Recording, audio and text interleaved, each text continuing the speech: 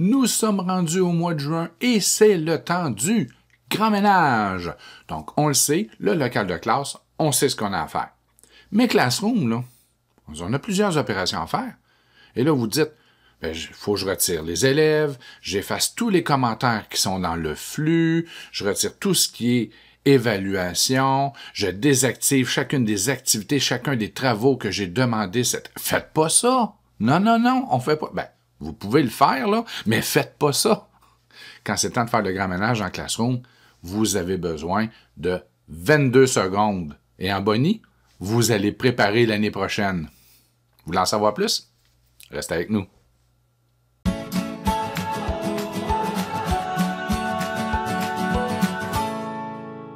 Donc, en effet, nous sommes rendus à ce moment de l'année où on fait le grand ménage. Voici ce que ça donne. J'avais mon classroom que j'ai utilisé cette année, classe de M. Michel 23-24. Regardez, j'ai des commentaires dans le flux. Il y a eu des travaux qui ont été faits ou non. J'avais des élèves, des co-enseignants et même des notes qui ont été accumulées. Donc, on désire tout fermer cela, donc remettre ça à zéro, et on désire fermer le classroom pour que personne puisse modifier des choses pendant notre absence cet été ou l'année prochaine.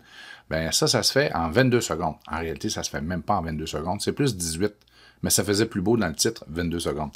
Donc, euh, comment peut-on faire pour passer de ceci à cela? Classe de M. Michel, M. Michel 24-25, avec un flux vide, toutes les évaluations, les activités en mode brouillon pour qu'on puisse les réactiver au moment opportun. Donc, que ce soit invisible pour les élèves et qu'on puisse simplement les faire apparaître au bon moment. On commence à zéro ici. Et à zéro là, ben, regardez bien, c'est même pas compliqué. Donc, je viens dans mon classroom que j'ai utilisé cette année. Et au lieu de commencer à effacer un par un, modifier, effacer, on ne fait pas ça. Vous cliquez sur la roue d'engrenage. D'accord? On descend un peu. Et maintenant, vous assurez de trois choses. Vous assurez que les codes d'invitation sont désactivés, ce qui est probablement déjà le cas. Ici, dans le flux, deuxième vérification à faire, assurez-vous que vous avez seuls les enseignants peuvent publier. Généralement, on a les élèves peuvent poster ou les élèves ne peuvent que répondre ou commenter. Donc, assurez-vous maintenant que c'est seuls les enseignants peuvent publier. Et pour terminer, assurez-vous que le lien Meet n'a pas été activé, ce qui est probablement aussi le cas. Et si c'est le cas, assurez-vous que le lien n'est pas visible par les élèves. Donc, trois vérifications à faire, c'est vraiment rapide. Pas de code, seuls les enseignants peuvent publier, puis invisible par les élèves, à la limite désactiver le lien, ce qui devrait déjà être le cas par défaut vous enregistrez. Là, je ne peux pas enregistrer parce que j'ai rien modifié. Et le tour est joué. Donc, on ne retire pas les élèves, on les laisse là. Ça va devenir une bibliothèque où les élèves pourront y retourner l'année prochaine. Si vous avez partagé des ressources, une vidéo explicative et que votre élève de cette année en a de besoin l'an prochain, il pourra retourner dans son ancien classroom, regardez la vidéo pour pas rien faire d'autre, pour accéder à la ressource que vous aviez partagée et potentiellement ça pourrait l'aider. Donc, on ne retire pas les élèves, on n'efface surtout pas les travaux. C'est la dernière chose à faire parce que on veut les conserver pour notre prochaine planification. Donc, on est en fin d'année, on entre dans le classroom, roue d'engrenage, on fait nos trois vérifications, on enregistre, et le tour est joué. Maintenant, c'est le temps de préparer l'année prochaine. Regardez bien comment on fait. On reprend notre classroom de cette année, on clique sur les trois points et on choisit Copier. Et là, étant j'ai déjà un classroom qui s'appelle classe de M. Michel pour l'an prochain, je vais laisser le copie de. Et je fais copier. Devinez quoi?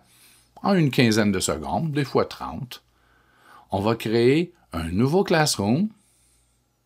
Regardez, il est en train de travailler très fort?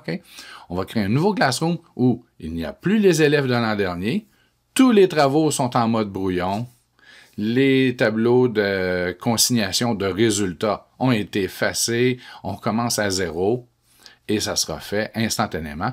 La seule opération qui va vous rester à effectuer au mois d'août, c'est lorsque vous aurez votre liste d'élèves, deux choix, vous pouvez les rentrer à la main. Si vous avez 10, 15 élèves, c'est correct. Vous entrez vos élèves un par un.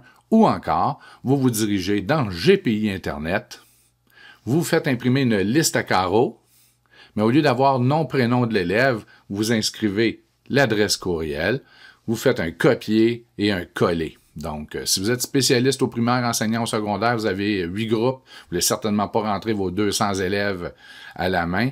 Donc, vous faites une liste à carreaux d'un groupe, copier, coller dans le classroom, copier, coller, copier, coller, et en l'espace de deux minutes, vous aurez créé vos huit groupes et vos planifications globales auront été épargnées. Regardez, lorsqu'on arrive ici, on est encore en processus.